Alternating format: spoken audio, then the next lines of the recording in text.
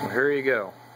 Uh, waste oil burner, homemade, uh, built off the blueprints uh, from Murphy, Murphy'sMachines.com, and uh, it's quite efficient. It burns about five quarts an hour.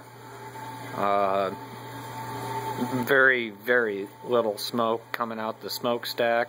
Um, mostly heat waves, actually. So, if you're looking to build a homemade waste oil burner, this is the way to go. All the flame is contained uh, once I put the access door on and everything.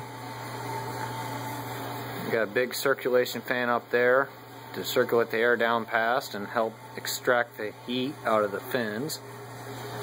Uh, a small burner fan, which I just kind of got rigged up on a little box here for an air manifold. But uh, it channels the air in there just fine. It's more about the volume of air, not the pressure. Uh, it's a positive pressure system, so you don't have to worry about having a, a draft fan on the chimney or anything. Uh, I'm quite happy with it.